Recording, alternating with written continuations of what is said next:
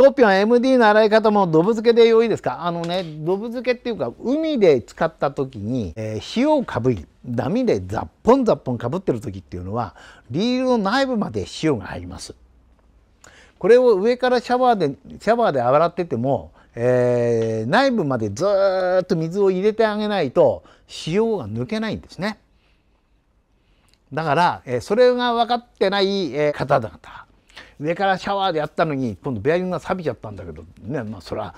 塩が中に入り込んでずっとそのまんま今度乾燥しちゃってしばらく置いちゃったらそれはそうなりますよ。ねえー、僕らがあのどぶ漬けでこう洗いますと島野が怒ってくるんですけどそれ見せないでねっていうのがあるんですが、えー、基本的にはですね僕らがある、えー、やり方をやるんですよ。そうすると大丈夫それはあの詳しくはもうサロンの皆さんよく分かっておりますからね。はい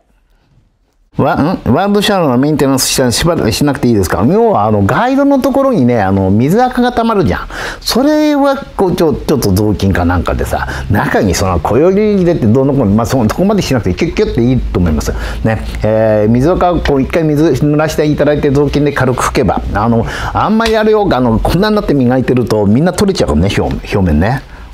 さあ、切り抜き動画見た皆さん、こちらの方がですね、村田はじめのオンラインサロン、YouTube バージョンの方でですね、流した映像、そこからこう切り抜かれたやつでございます。オンラインサロンの方ではですね、本当に一人一人のあんな疑問、こんな疑問っていうのをですね、直にお答えしているから、村田はじめちょっと楽しみたいなという方はですね、ぜひご入会をよろしく